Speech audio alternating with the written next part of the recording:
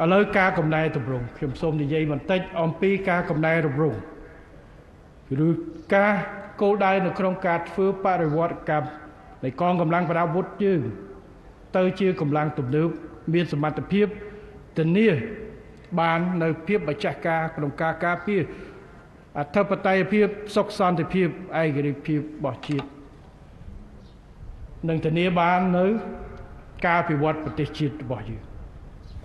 តើកំណែតម្រង់កងទ័ពផ្អែកលើមូលដ្ឋានទេកំណែតម្រង់កងទ័ពត្រូវផ្អែកលើមូលដ្ឋាននៃស្មារតីជាតិនិយមនេះគឺជាកិច្ចការដែលយើងត្រូវធ្វើកែយ៉ាងម៉េចក៏ដោយកុំឲ្យបាត់អត្តសញ្ញាណនិងស្មារតីនៅក្នុងការការពារជាតិការស្មោះត្រង់ដាច់ខាតចំពោះជាតិនិងប្រជាជននេះគឺជាការមូលដ្ឋាននិងស្មារតីនៃមូលដ្ឋានធ្វើការកំណែតម្រង់កងទ័ពរបស់យើង នេះគឺត្រូវធ្វើឲ្យបានការពារជាតិសាសនាព្រះមហាក្សត្រនិងថែរក្សាសុខសន្តិភាពឲ្យបានជាដាច់ខាត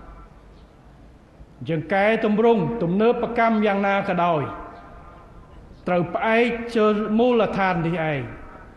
ពង្រឹងកម្លាំងជាតិដើម្បីបម្រើប្រទេសជាតិនិងប្រជាជន ការពារឲ្យបានជាដាច់ខាត នៅជាតិសាសនាព្រះមហាក្សត្រនិងថែរក្សាឲ្យបានជាដាច់ខាតនៅសុខសន្តិភាពនិងស្ថិរភាពជូនប្រទេសជាតិរបស់យើង